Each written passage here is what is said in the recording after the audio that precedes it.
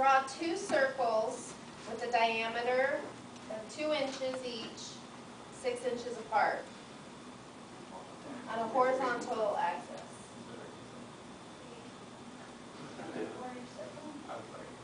Six inches apart. Six inches apart, approximately.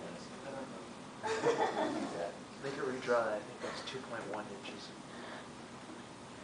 All right, they were, okay. Um, draw a um, Starting from one inch to the left of the left circle, bisecting the circles. And then go to the, so you started from the one inch to the left of the left circle to one inch the right, the right circle. Perfect. Okay, delete the top half of each circle.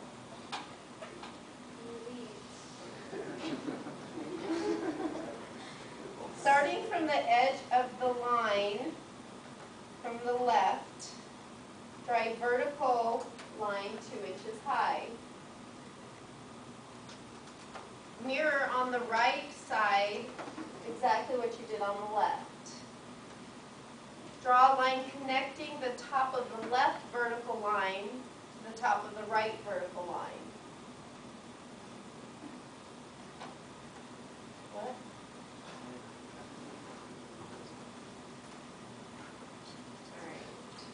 Alright. Draw trapezoid. Oh, okay, wait, hold on a second. On the top center, horizontal line, construct a trapezoid three inches.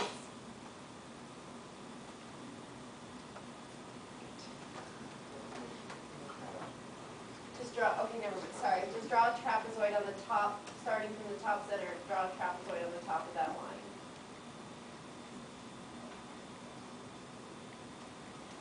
All right, that's as far as we got.